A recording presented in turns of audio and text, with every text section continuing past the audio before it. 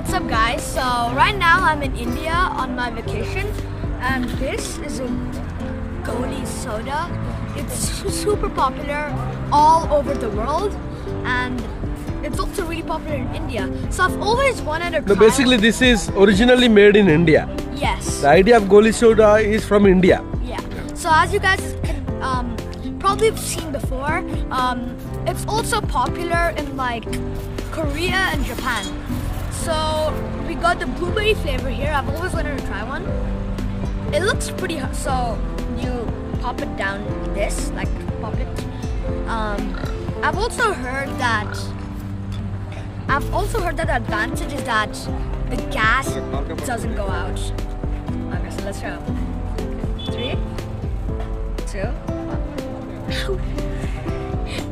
Ouch. Ouch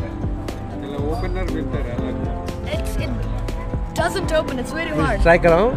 Ah, try around. My uncle's gonna give it a shot. You he it, ना this side है Ooh, oh. it's open. Now shake it like this. It should sound. Oh.